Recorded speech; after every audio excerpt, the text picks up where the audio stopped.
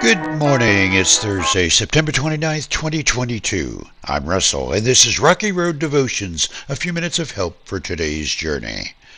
Our devotion today is entitled The Glorious Needle in the Unfathomable Haystack. In our scripture, Psalm chapter 8. O Lord, our Lord, your majestic name fills the earth. Your glory is higher than the heavens. You have taught children and infants to tell of your strength, silencing your enemies and all who oppose you. When I look at the night sky and see the work of your fingers, the moon and the stars you set in place, what are mere mortals that you should think about them? Human beings that you should care for them. Yet you made them only a little lower than God, and crowned them with glory and honor.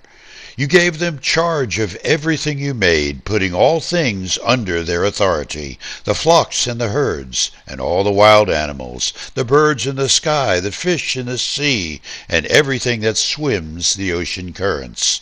O Lord, our Lord, your majestic name fills the earth. The psalmist, in a big stage whisper, wonders aloud about how God could possibly be concerned about us humans. Calvin, the precocious, some would say obnoxious, kid, proclaims he's significant just before allowing he's quite small compared to the universe. Calvin and Hobbes is one of my many favorite cartoon strips. That may be due to the author's theological bent, which always catches my eye, and most often my admiration. I admire and often envy the way the creator of this tune can present a complex biblical theme on the meaning of life with just four panels and a precocious, self absorbed six year old. That may be because the creator, Bill Watterson, modeled the main characters, the boy Calvin and his stuffed tiger Hobbes, after a preacher and a moral, wondering cynic. You gotta love it.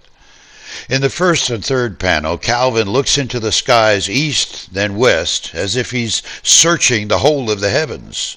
In the second panel, he announces with certainty his significant place, as only a six year old can proclaim from his sandbox. In the fourth and final panel, Calvin concludes and allows that he might be just a piece, a speck of dust in the big pile of the puzzle, and not the magnificent centerpiece his first statement demanded. This is the ongoing human struggle for identity and perspective on the significance and purpose of life. I suppose if I had Bill Watterson's ability to get to the nub in so short a presentation, I mean, it only takes eight seconds to read. I guess my sermons would be a lot shorter, and my congregation would always beat the Baptist brethren to the local restaurants on Sundays. For you today, there will never be a test to pass on Sunday's sermon. So here's a delicious short thought to ponder. When the sermon is spoken this Sunday, whether you take notes or not, take note of just one salient, provoking life issue your pastor presents and contemplate, think deeply, and measure it against your life. Take it home and see what God says to you in prayer that day or the rest of the week and then find some way to put into action whatever God brings into your life that next week. You may not have a stuffed tiger that will talk back to you like Calvin's Hobbes, but the Holy Spirit will lead those who seriously seek the Lord. You chew on that as you hit the rocky road. Have a blessed day.